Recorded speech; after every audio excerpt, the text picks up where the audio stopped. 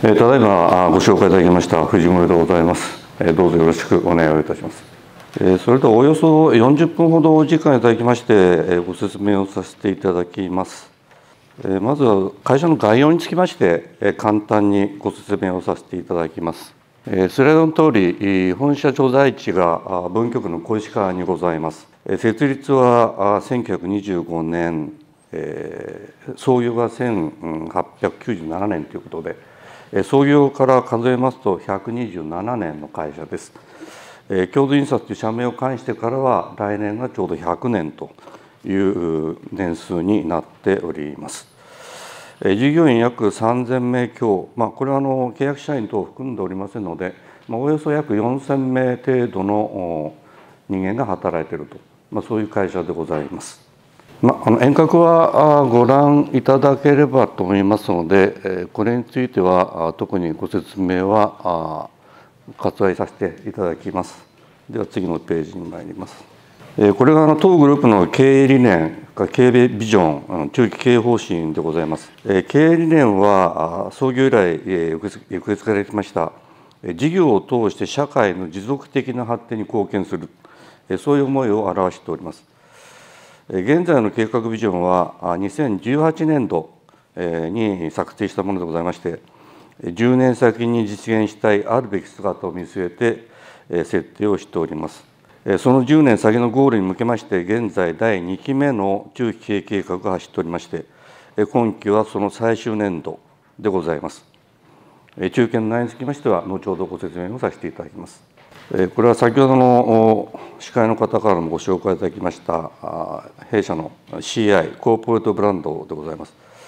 ともえる共にある未来へということで2017年が創業120周年でございましたので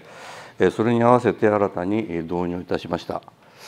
これは完全な造語ではございますけれども「友」と「ウェル」「友」は共同印刷の「今日」につながる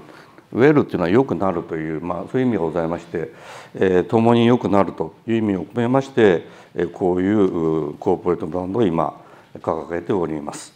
これはあの役員の一覧でございますので、まあ、あのご覧いただけたというふうに思います。えー、続いて組織体制になります。まあ、大まかに企画開発部門事業部門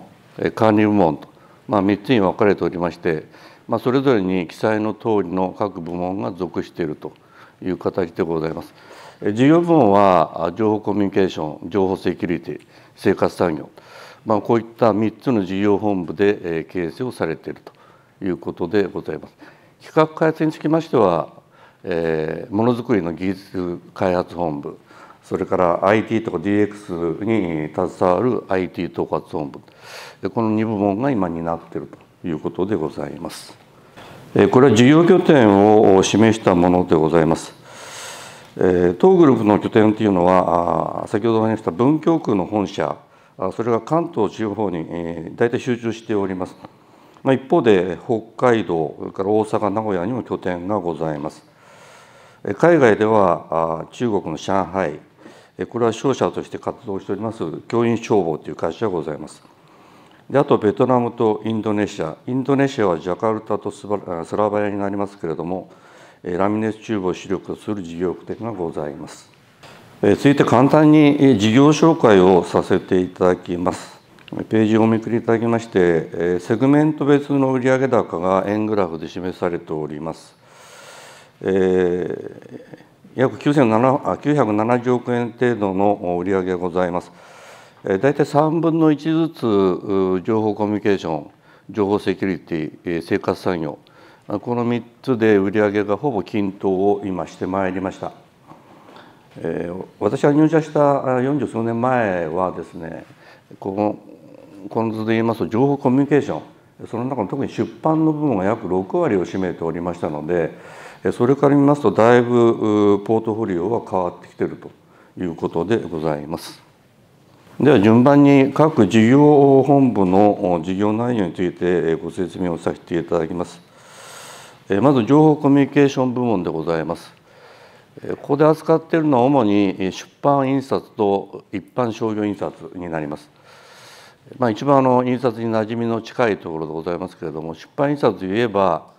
集英社の「週刊少年ジャンプ」これは1968年の創刊時から、弊社単独で受注をしてまいりました。まあ、そういうこともございまして漫画に対する強みはかなりあろうかというふうに思っております。その他図鑑とか絵本とか児童書、まあ、こういう分野も得意と今知っておるところでございます。から一般商業印刷につきましては小石川本社の近くに都内で有数のスタジオを持っておりまして、まあ、そのスタジオを使いながらカタログとか情報誌、まあ、これの企画から始まりまして撮影編集製造、まあ、こう一貫体制で生産できる、まあ、そういう仕組みをできております。また店頭販促分野。これはあのお店の店頭にですねいろいろあの商品説明の POP とかそういうものを置かれているかと思いますけれどもそういうような店頭販促分野、まあ、ここに強みを持っております。化粧品とか日用品メーカー。もしくはあの家電メーカー等からお取引をいただいているということでございます。え続いて情報セキュリティ分野になります。えこの分野は大きく分けましてえデータプリント BPO BPO というのはビジネスプロセスアウトソーシングという形をとっているものでございますけれども、まあ、そういう部門が一つとえ IC カードとか乗車券宝くじ、まあ、こういう証券類を預かっている、まあ、2つの部門がございます。データプリントとか BPO につきましては、えー埼玉県の鶴ヶ島と川島特に川島にですね非常に高度なセキュリティ環境を持つ自社工場を持っております。まあ、ここで、え個人情報を含む顧客情報を専用プラプログラムで編集いたしましてデータをプリントするそれを封入封還をする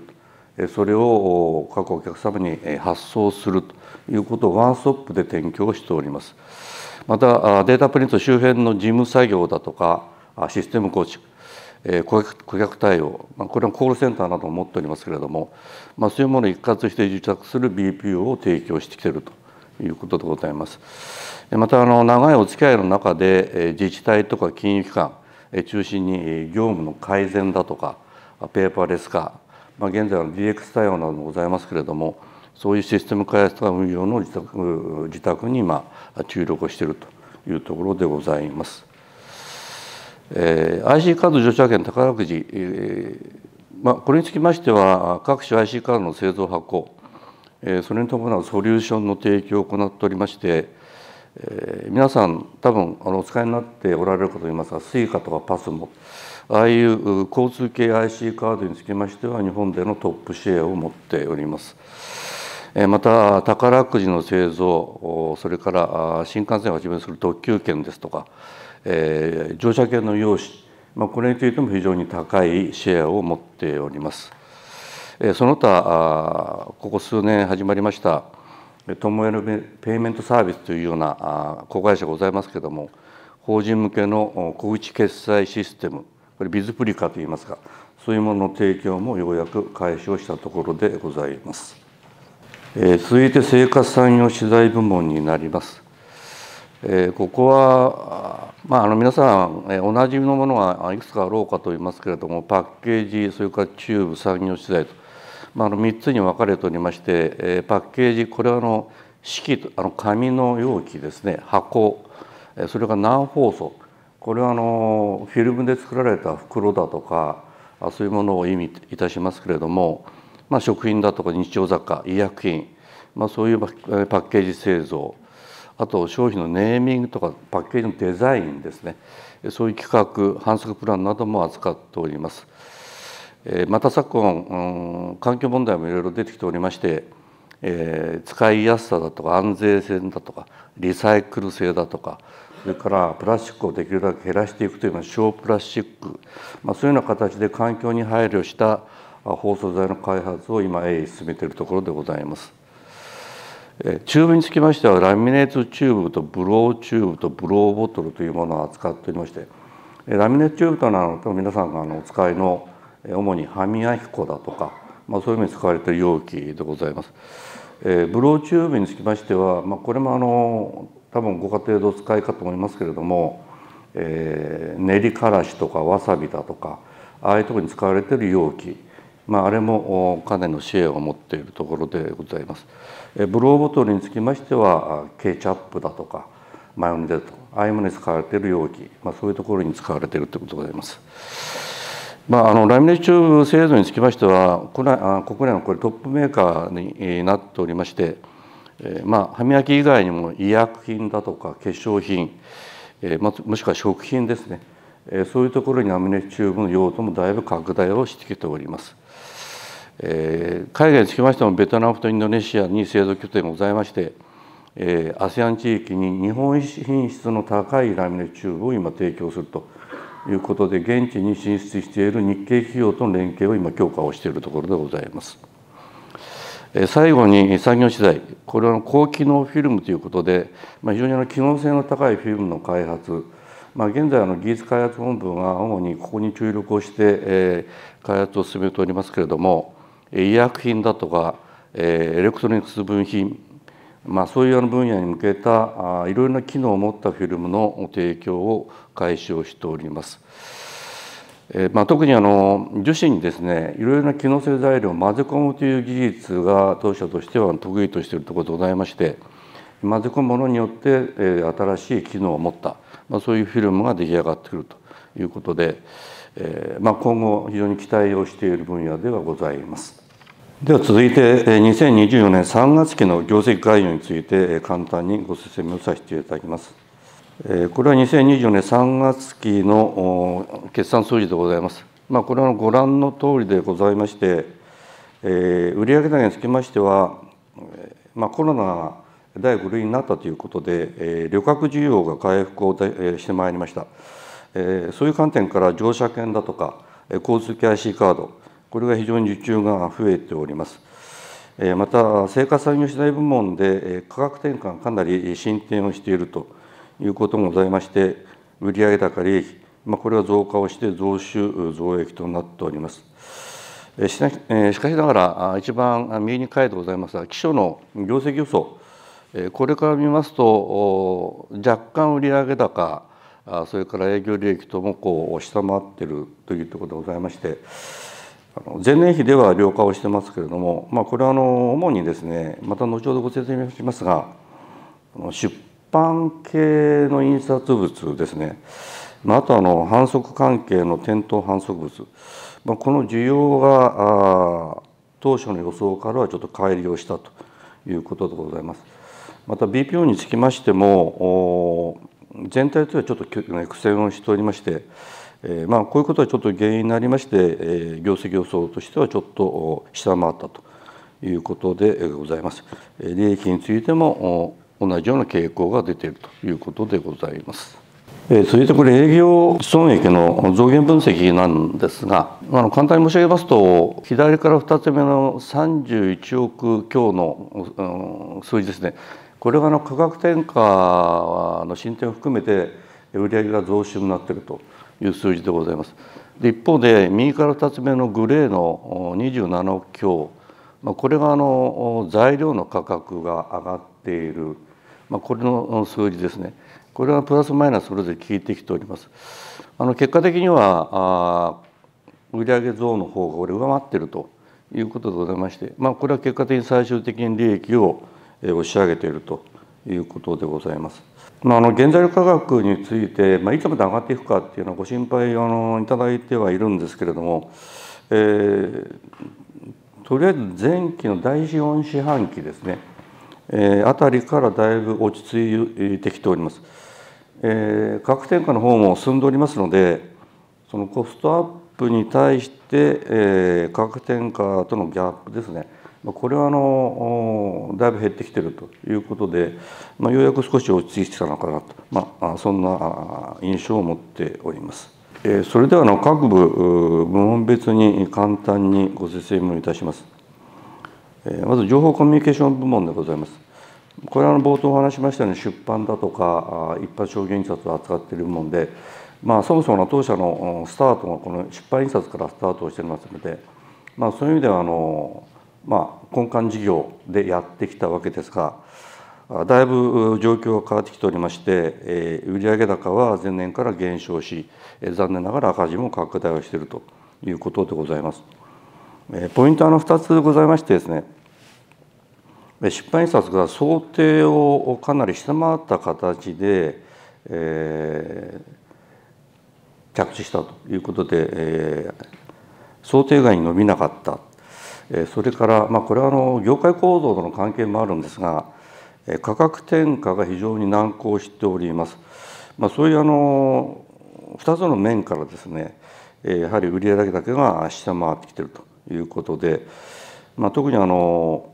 雑誌だとか定期刊行物、まあ、こういうものの部数がやっぱりデジタル化の影響を今受けております。また少子化等の影響もございまして、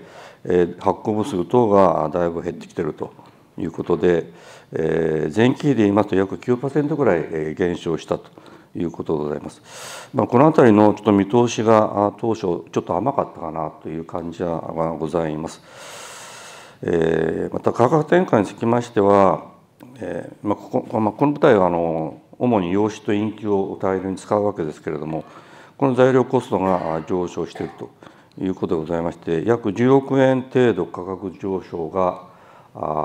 材料で出てるんですけれども、え、残念ながらこれが転嫁できたのは約3億円ということでここに7億円のギャップがあると、まあ、これがあの利益面をアップしたことで赤字が拡大したということでございます。まあ、これはあのこの事業本部これがどうしようかというのはまあ一つの課題でございまして、まあ、あのこのまま放置するつもりはもちろんございませんが、まあ、現状今かなり厳しいところにいるということでございます。では続いて情報セキュリティ部門になります。この部門は売上高利益ともに拡大をしております。ポイントやはりあの2つございまして、一つはあのこれも先ほどお話ししましたが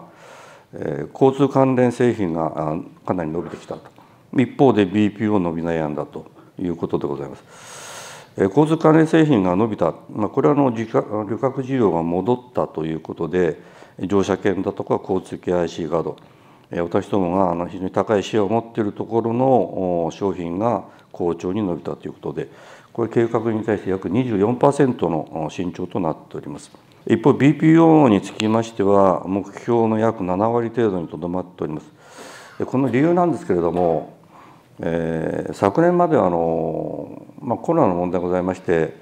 自治体の感染症対策に関連した BPO 案件がかなり多かったんですね。でこれがあの収束することによって減ってきていると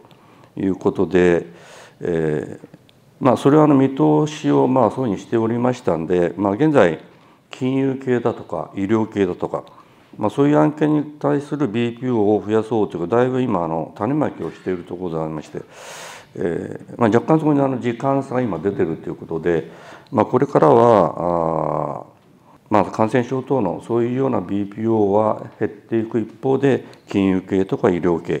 ここで BPO を伸ばしていくということが当社の戦略として現在考えているところでございます。えー、まあ、あのトライトライアルのだいぶ進んできておりますが、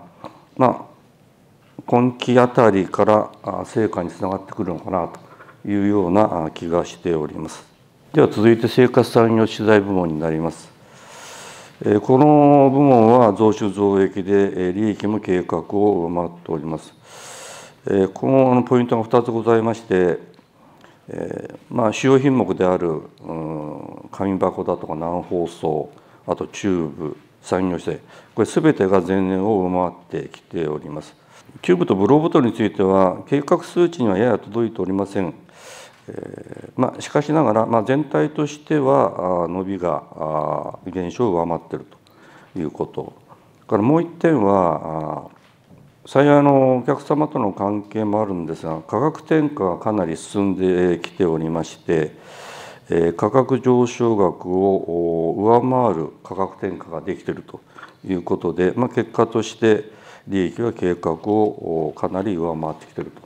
ということでございます。まあ、あの今後の一つの私どもの大きい柱の部門となる事業でございます。最後にその他について簡単にご説明します。まあ、これはあの、まあ、あまり説明するまでもないんですが、残念ながら減収減益になっております。まあ、主な要因としては物流関係の子会社がございますが、物流業務の不調が大きいということで、まあ、物流につきましては、人手の問題出すとか、2024年問題、まあ、これからもちょっと課題がありまして、まあ、今後ちょっと考えていかなきゃいけないなという状況に今来ているところでございます。で続いて、四半期業績の推移です。まあ、これはの何を見ていただこうかということはこれ四半期ごとに棒グラフが出てるんですけれども、えー、私どもあの大体下期型の業績になってまして第3第4四半期で利益を稼ぐという、まあ、そういうあの状態が長らく続いております。まあ、あのこれご覧いただくようにグラフ折れ線グラフが立っているところは大体第3第4四半期になってます。で、えー、2023年だけなんで第4四半期が下がってるかということなんですが、まあ、これはあの本社の新社新社屋をまあ建て替えたんですね。でその不動産取得税納付これはございましたんでこれは第4四半期にあったことからたまたま第4四半期が下がったということであって、えー、下期型特に第3第4四半期に利益が伸びるという傾向について変わりはないというふうにご理解いただいて結構かなというふうに思います。続いて設備投資と減価償却費です。まあ、これはのご覧の通りですが、え、2018年から2020年度の前の中継ですねここであの生活産業資材部門にかなり大型投資を実施しております。まあ、これはあの今生活産業が伸びている、まあ、一つの要因にはなっているかと思いますけれども、えまあ、一定の大型投資は一定済んでいるということで現在の中継では本社の建て替え、まあ、これを除きますとさほど大きな設備投資の計画はございません。主に効率の向上だとか昨今非常に注目されています環境対応ですね、まあ、こういうところに設備投資をしていくつもりでございます。2025年3月期の設備投資、これは約57億円を今予定をしております。これはの参考までに損益計算書を掲示しております。ご覧いただければと思います。今出てきてます、まあ、スライドちょっと先言ってますけど貸借対照表、えー、キャッシュフロー計算書、まあ、これは後ほどご覧をいただければなというふうに思います。えー、では時間の関係もございますので続いて、えー、2021年から24年度、えー、中期経営計画の進捗について、えー、簡単にご説明をさせていただきます。えー、まず中期経営目標でございます。えー、現在の中継では、えー既存事業これの利益改善を一つ図るということとグループの柱となる新しい事業を育成をする。これを日本柱にいろんな施策を今実行しております。その内容について次のスライドから簡単にご説明をさせていただきます。これはあの先ほどお話しました3つの事業部門を3つ上にこうグラフで並べております。業コミュニケーション部門これ一番左側の図になりますがこれはのご覧いただく見方なんですけれども、えー、縦軸が売上売上高の成長率横軸が営業利益率というふうになっています。から円の大きさが売上高を示しておりまして、えー、薄い色が全中継の最終年2020年度、えー、それから濃い色が2023年度の実績から点線、え、これが中継最終年度、まあ、本年度ですねこれの目標値となっております。えーま、従いましてこの最終的な点線で囲んでいる目標値にきちんと今向かっているかどうかということをこのグラフで見ていただければお分かりいただけるかと思います。一番左の情報コミュニケーション、えー、残念ながら売上だけは依然として縮小傾向にございましてまだプラス成長に至っておりません。利益率も原材料コストの上昇、それから価格転嫁の遅れ、これは先ほど来お話してますが、2020年度時点よりも悪化をしております。また、現中継の立案当初に、紙媒体の2023年度売上、これは2020年度比で約9割と想定をしておりましたが、実際に占めてみますと、約8割ということで、ここにちょっと乖離が発生をしております。一般商業印刷につきましては、デジタルシフト、まあ、これに対応した結果、売り上高と計画,、えー、計画に近い進捗になっております。し,、えまあ、しかしながらですね、まあ、各企業様のあの反則予算がだいぶ今縮小されたり抑え込まれているという面も現状ございまして、えー、店頭反則分野はやや不振をしているということで、えー、2020年度ですと約9割程度ということで、えー、かなり厳しいなという状況が続いているところでございます。えー、その隣の情報セキュリティ部門、えー、ここにつきましてはご覧のように矢印が最終的な点線の周りに向かってまっすぐ進んでおりますので、えーまあ、順調に進んでいるということで、えー、計画達成が多分できるであろうということでございます。あの先ほどお話ししました BPO につきましてはあの金融系とか医療系、まあ、これを伸ばしていかなきゃいけない状況でございますので、まあ、これは一つ今後力を入れていかなきゃいけない部分かなというふうに思います。また乗車券だとか交通系 IC カードこの慎重というのは今後も続くというふうに読んでおりますので、まあ、そういうことを含めて多分こんな見通しになろうかなと思います。から生活産業資材部門につきましては相当な設備投資を、まあ、進んでまいりましたので、まあ、これをいかに生かしていくかということで利益の改善最大化これに取り組んでまいりますがおおむね順調に推移しているということでございます。まあ、あの価格転嫁だけではなくてですね、えー、不採算品を選別するとか固定費の抑制だとかということで、えー、一応効果が出ておりまして利益を量化をしているということで、まあ、ここにつきましてもおおむね予定通り進んでいるというふうにご理解いただいてよろしいかなというふうに思います。続いて中期経営目標これについて一部変更させていただきたいと思いましてご説明させていただきます。変更前はですね営業利益38億 ROE5% 配当成功30%以上ということでお示ししましたが変更後は営業利益のみ31億に修正をさせていただきたいと思います。ROE と配当成功については変更はございません。これはあのなぜ38億を31億に変えるかということなんですがこれは計画当初想定してなかった原材料価格それからエネルギーコストこの高騰が当初想定をしていなかったということもございます。またあの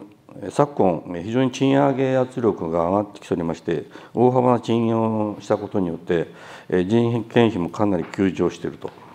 いうことで、まあ、いろいろな価格転嫁等で対応しておりますが全部門通じて言えばですねやはり当初の38億はかなり厳しいだろうということで31億に修正をさせていただきます。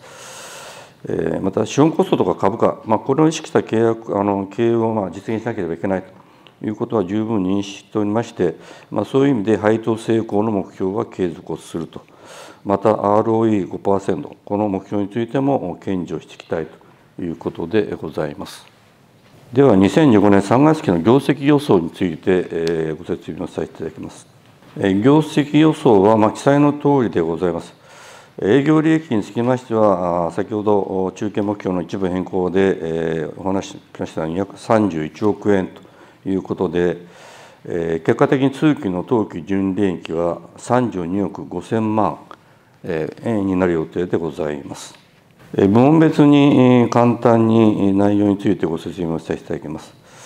まず情報コミュニケーションですが、紙媒体については多分今後もさらに縮小していくだろうと。いうことで前期比で1割程度さらに縮小するということで計画を作っております。まあ、電子書籍とかですねコンテンツ関連それから一般商業印刷だったり、まあ、この辺りではまだ拡大の余地がございますので、まあ、そこにこれから注力をしていきたいと思っておりますし、えー、まあ新たに学び関連、えー、学びについていろいろの現在需要があろうかというふうに考えておりまして、まあ、そういう意味でえそういう学びに資するようなコンテンツ作りに今新たな部門を作って注力をしております。まあ、そういう事業もあの遠からず事業に貢献してくるかなというふうに考えております。から一般商業印刷につきましてはテント朝分野がちょっと落ち込みましたが、まあ、これはあの今後 増やしていくこととえまあ、あのロジスティックとの組み合わせで、まあ、トータル受注を図れればなというふうに思っておりまして、まあ、医薬品関連等を含めてですね一般商業印刷についても拡大をさせていければなというふうに思っています。でやはりあのそうは言ってもですね市場そのものはかなり厳しい中で、まあ、どこで利益を出すかということになりますけど、まあ、ポイントの一つとしてはあのこれも先ほど来お話しますように残念ながら価格転嫁が進んでなかった部門でございまして、まあ、これについて前期まで相当なあの交渉を重ねてきてまいりました。で現時点でまだ結果は出てないんですけれども、まあ、お客様との中で、えかなり合意できている部分ができていると合意できた部分が増えてきているということがございまして、まあ、今年度から一定の量化が価格転嫁では見られるだろうということもございまして、まあ、これはあの利益計画の一つのポイントとして考えております。まあ、最終的にはあの事業構造をどうするのそれから生産体制を含めてやはり大幅な見直しもやっていくべき時期に来ているかと思いますので、まあ、詳細についてはまだお話できませんけれども、まあ、構造改革についてやはり着手するべき部門であることは、えー、はっきりしているというふうに認識をしております。はい、続いて情報セキュリティ部門になります。この部門はこの期におきまして一番あの慎重を見込んでいるセグメントでございまして、えこれも何度も話してますように乗車券とか交通系の IC カードこれも今,、まあ、今後も順調に推移するだろうというふうに思っています。え BPO につきましても、え自治体とかそういうものを対戦してまいりますが今相続だとかまあ、そういうような金融系だとか医療系、まあ、こういう世界での BPO ここにはまだまだ伸びしろが相当ございます。まあ、そこで十分な慎重が多分見込めるだろうというふうに思っております。まあ、これもあの先ほどお話しましたようにだいぶあの種まきはしてきたあ時期が続いておりますので、まあ、そろそろその刈り取りの時期に入ってくるのかなということで、えー、成長を見込んでいる部門でございます。えー、続いて生活産業資材部門になります。まあ、この分野の各品目とも順調に伸長をするであろうというふうに見込んでおりまして、価格転嫁も多分、うん、今年度も進んでいくだろうということもございまして、えー、多分20億円程度の増収ができるだろうというふうに考えております。まあ、環境配慮につきましてもラミネーチューブをあの紙化をしていくもしくはプラスチックを減らしていくとか、まあ、そういうような環境対応型のラミネーチューブも今だいぶ完成をしてきておりますので、まあ、今期中に売上貢献にヒットするだろうというふうに今考えております。その他の取り組みとしてはですねあの31億円、まあ、38から31億円に営業利益の目標を下げたんですが、まあ、そうは言っても2023年度から見ると約倍増の数字になります。でこれを実現するためには単なる努力だけでは、え、できないだろうというふうに考えております。まあ、の詳細について、え、お話はあのできないんですけれども、まあ、拠点の再編だとか生産体制の再構築また人的資本への投資拡大、まあ、こういうことも積極的にやっていきたいというふうに思っています。から2023年度の ROE はまだ2.5%ということでかなり低いんですね。まあ、そういうこともあって、えー、RE5%、まあ、これをあの実現することはもう最低限の目標だというふうに認識しておりますのでまずは2024年度の利益を倍増させて ROE5%、まあ、これを達成させることが大きな目標になっております。また当社の株価はですね PBR が1倍大きく割り込んでおります。まあ、あの1倍達成に向けて、まあ、次期中継では ROE8% 以上まあ、この実現を目指していくということで、まあ、資本構成だとか配当政策これについても次期中継に盛り込んでいきたいというふうに考えております。では株主還元施策につきまして、えー、簡単にご説明をさせていただきます。えー、配当予想につきましては前期末配当につきましては当初予定から変更はございません。通期で100円を予定をしています。今期の配当につきましては、年間で1株135円、まあ、そういう形で増額をする見通しでございます。まあ、これはの1株当たりの当期純利益が約446円というふうに予想されますので、配当成功を30%いたしますと、年間で135円程度の配当を実現することができるだろうというふうに考えております。はい、また自己株式取得、まあ、これも記載の通りでございますけれども継続して実施してきております。まあ、あの今後につきましても方針については大きく変わりませんので、えー、タイムリーな形で必要な自己株式取得、まあ、これも進めていきたいというふうに考えております。もうほぼ最後になりますが株主優待、まあ、これも記載の通りでございまして、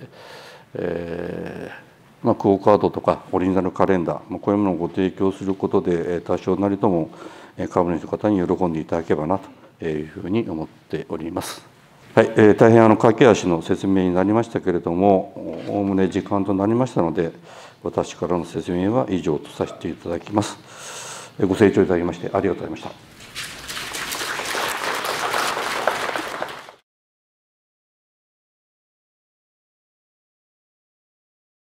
えっと、金属は入っていないんですけれども、ええ、あの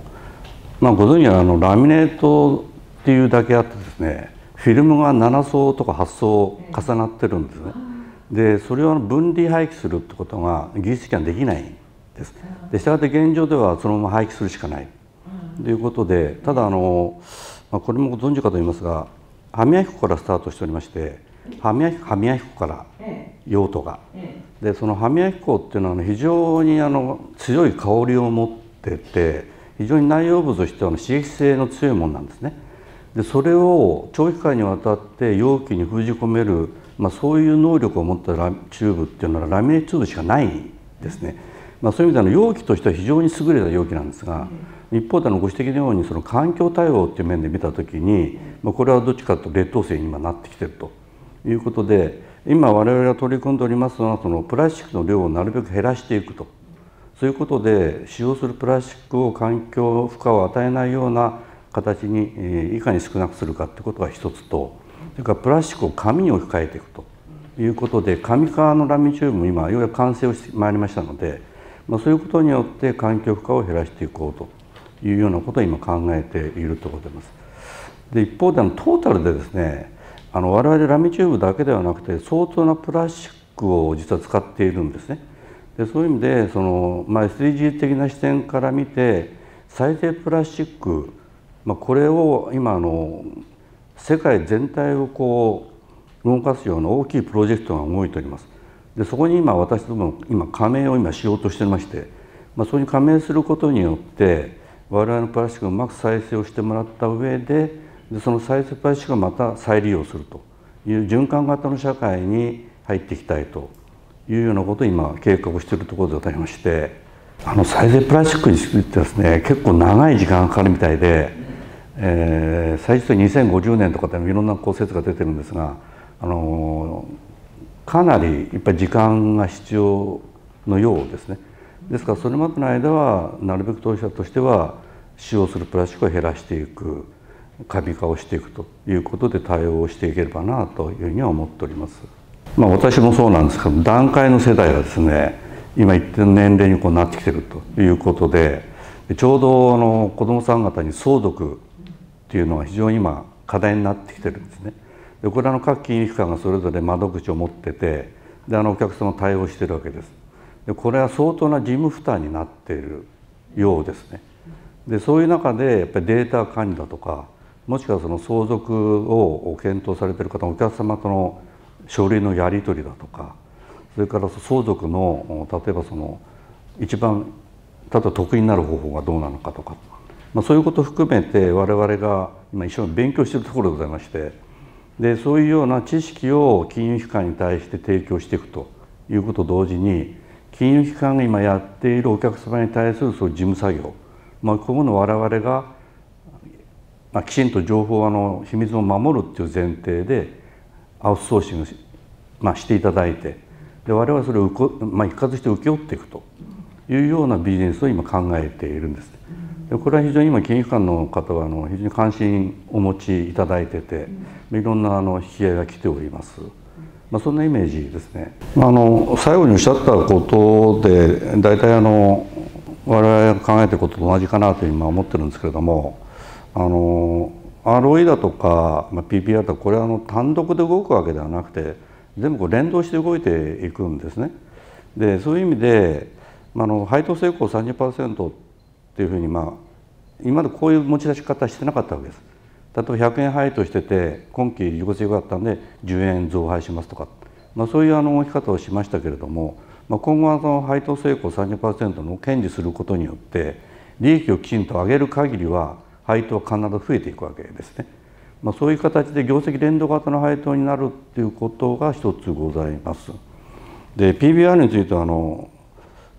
明らかに東証からもいろいろご指示がございましてですね、まあ、これはあの我々の非常に今重く受け止めておりまして、まあ、これはあの、まあ、いかに上げるかということやっぱりあの当初の長い歴史の中で、まあ、先人たちが非常に、まあ、ある意味資産をかなり残してもらったということもあって純資産額が結構大きいんですね。でこれは十分にまだアウトプットの方に生かしきれてないということが結果的に PBR になっているということかと思います。まあ、そういう意味で、えー、どうも印刷っていうのはこう若干地味なところがございますけれども、まあ、そういう意味でもう少し会社っていうものを、まあこまあ、こういう場もそうなんですがご理解をいただいてで同時にこの会社に対して投資する価値がありそうだなというような、まあ、そういう感覚を持っていくためにはやはりきちんと結果を出さないとですね PBR も上がっていかないんだと思うんですよね。ですからそういう取り組みについては今後も精一杯努力をしていきたいというふうに考えておりますので、まあ、あのこうなりますよってなかなかお約束はしかねるんですけどもあのぜひ我々のこう頑張り具合を見といていただければなというふうに思います。